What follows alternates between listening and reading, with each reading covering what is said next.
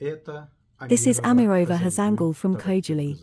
Her family was captured by Armenian bandits on the night of February 25 to 26 in 1992. Listen to what she says about that night. When the tragedy happened in Khojaly, we ran away into the forest. When we were caught by the Armenians, they immediately shot my younger sister named Yegana in the head and also killed my mother, whose name was Raya. We were captured and brought to the town of Askaran.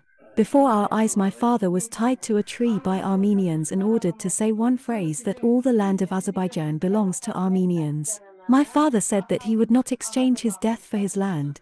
Then Armenians poured gasoline on his legs up to his knees and set fire to his legs up to his waist and once again ordered him to say that all the land of Azerbaijan belongs to Armenians. My father repeated again that he would not exchange his death for his land.